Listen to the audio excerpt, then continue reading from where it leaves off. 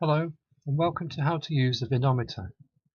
This video has been sponsored by thegiftofwine.com. A vinometer is a small glass instrument used for measuring the alcohol content of wine or beer. It consists of two parts, a bowl at the top and a tube with graduations on it at the bottom.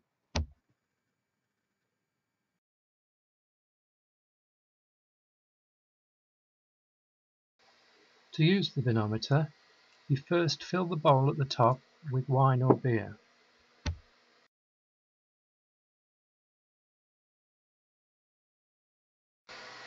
Now wait until the wine or beer drips out at the bottom.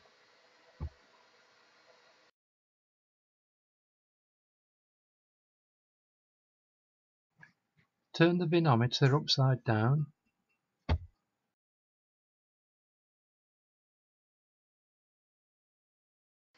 Finally, read the alcohol content from the scale.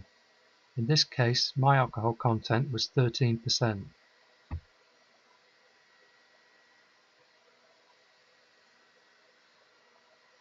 Thank you for watching the video. There's more information on making wine on my website www.thegiftofwine.com.